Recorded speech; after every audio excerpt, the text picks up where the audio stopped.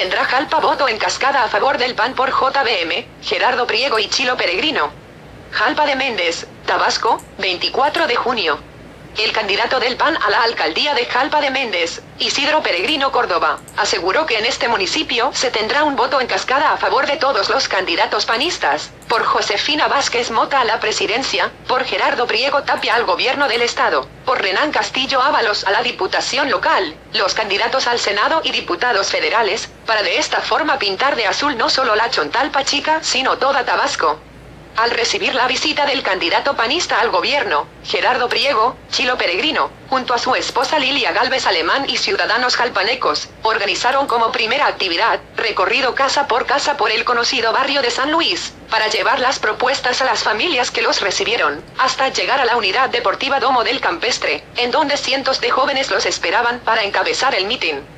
Llegaron acompañados por los candidatos panistas, al Senado Moisés Lutzow, a la Diputación Federal por el Distrito Quinto, Alisandro Cruz León, y a la Diputación Federal Plurinominal, Juan Francisco Cáceres de la Fuente.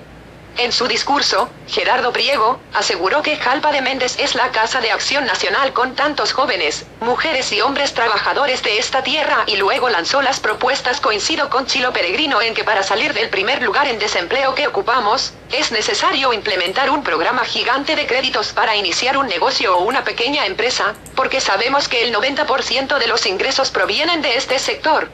Otro magno proyecto, es en deporte y ciencia. Llevaremos a un millón de jóvenes por la vía de lo propositivo y constructivo. Llevaremos a Tabasco del lugar 32 en deporte al 10 a nivel nacional, en solo 5 años. Y tanto al buen deportista como al buen estudiante en ciencias, recibirán becas que aseguren sus estudios de nivel superior. Por su parte, Isidro Peregrino, llamó a todos los jalpanecos a defender el voto el primero de julio para que el próximo trienio panista se logre el desarrollo que Jalpa se merece, y de esta forma construir una nueva historia con un gobierno de acción nacional. Para finalizar, pidió el voto en cascada para todos los candidatos panistas. Ya ganamos la campaña, ahora nos toca defender esta victoria en las urnas. No podemos confiarnos. Por eso estoy seguro que el día de la jornada estarán atentos para que se desarrolle en el marco de la legalidad y la democracia.